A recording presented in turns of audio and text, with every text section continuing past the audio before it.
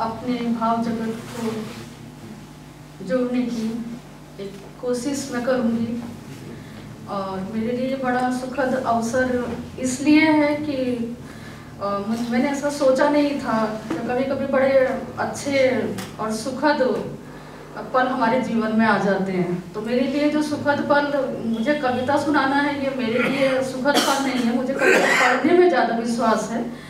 मेरे लिए जो सुखद पल है कि मेरे गुरु और बटरोही जी यहाँ पर उपस्थित है और मैं उनके सामने दो शब्द कहूँगी, बोलूँगी। ये मेरे लिए बहुत सुखद पल है। ऐसा मैंने सोचा नहीं था कि ऐसे पल मेरे लिए कल आ जाएँगे। तो मैं गुरुवर के चरणों में जिनके बदौलत मैं यहाँ तक पहुँची हूँ, मैं उन्हीं को ये कविता समर्पित करती हूँ। ये अतुकांत कविता है। मैं अतुकांत कविताएँ ही ज़्यादा लिखती हूँ और मानती हूँ कि कविता की जो पहली शर्त है वो संवेदना और रस, ये मैं उसको, उसकी ज़रूरत मानती हूँ। जो कुछ पंक्तियाँ मैंने लिखी हैं, हो सकता है आपको पसंद आए, हो सकता है आपको पसंद ना आए, लेकिन मैं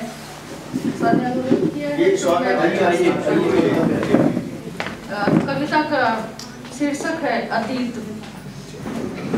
माना कि माना कि जो दिखता है वो सच होता है। माना कि जो दिखता है वो सच होता है, लेकिन जो दिखता नहीं, सच तो आखिर होता है वह भी। जैसे, किसी पेड़ की जड़ जो थामे रखती है पेड़ को मजबूती से, जिसके सहारे आंधी तूफानों से भी टकरा जाता है पेड़, चमचमाती इमारत की नींव, जिसके मज़बूत कंधे पर खड़ा हो इतराता है महल, ऑक्सीजन जो नथुनों से घुसकर देह को ज़िंदा रखती है, ऐसी ही और भी कई चीज़ें जो आँखों को ना दिखाई देने के बावजूद अपना होना साबित कराती हैं, पुरजोर ढंग से, ठीक मनुष्य के अतीत की तरह, जिसे लाख चाहने के बावजूद मिटाया नहीं जा सकता, भले ही वह कितना दुखदाई हो। पता नहीं, मन की किन खोहों में दुख का रहता है यह, यादों की पुरवाई में जोड़ों के दर्द सा टीसता है कभी कभी बड़ी रहस्यमय, बड़ी लुभावनी लगती हैं अतीत की भग्न प्राचीरें देखना पलट कर यूँ अपने वजूद की किताब को। देखना पलट कर यूँ अपने वजूद की किताब को। चीनी नमक और तीनों का एहसास लिए एक सुखद इतिहास लगता है। अच्छा एक छोटी अच्छा सी कविता और सुनाना चाहूँगी। ये इसका शीर्षक नहीं है मैं कुछ कविताओं को शीर्षक भी नहीं रखती हूँ क्योंकि मानती हूँ कविताओं के अनेकानेक संदर्भ होते हैं।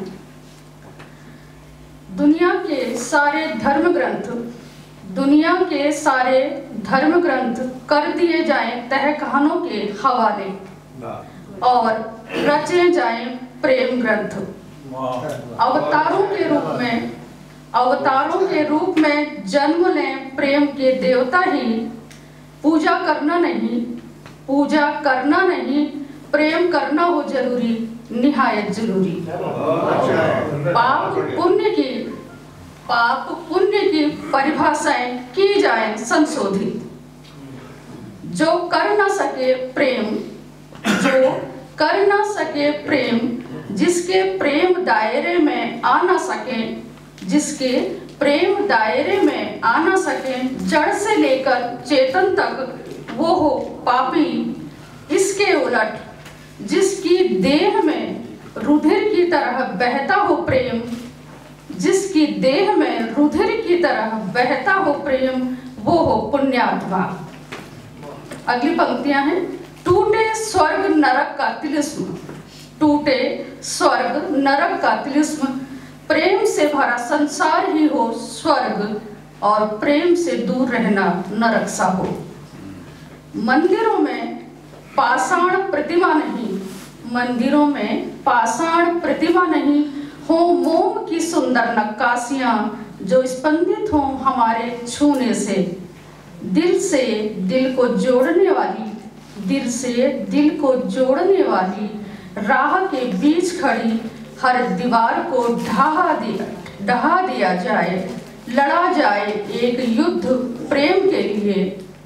प्रेम के हथियारों से विश्वास कीजिए, एक बूंद भी न बहेगा लहू। विश्वास कीजिए, एक बूंद भी न बहेगा लहू। हाँ आँसू ज़रूर बह उठेंगे सूखी संवेदनाओं को नम करने के लिए। आखिर नम धरती में ही तो अखवाते हैं बीज। धन्यवाद।